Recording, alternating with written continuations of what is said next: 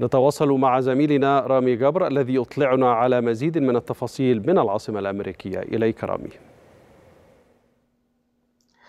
يعود مرشحا الانتخابات الرئاسية الأمريكية الرئيس الحالي جو بايدن والرئيس السابق دونالد ترامب إلى قطار الحملات الانتخابية مجددا هذا الأسبوع.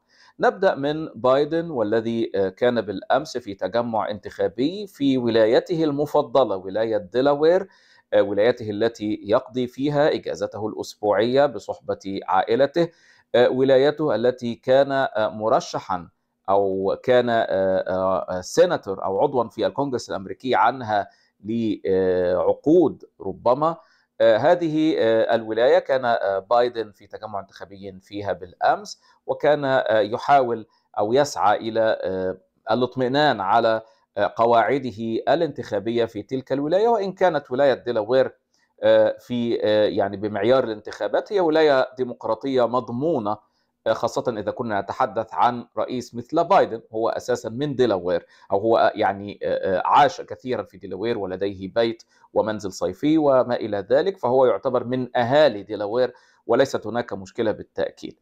نتحول إلى ترامب الذي يواجه محاكمة شراء المعروفة إعلاميا بشراء الصمت في نيويورك ولكنه في نفس الوقت استطاع أن يوفق أوضاعه مستغلا أيام الإجازات في هذه المحاكمة أو الأيام التي لا يكون فيها جلسات حتى يطلع بحملاته الانتخابية. ترامب يتوجه اليوم إلى ولايتين مهمتين جدا في الانتخابات المقبلة، ميشيغان وويسكونسن وهما ولايتان متأرجحتان.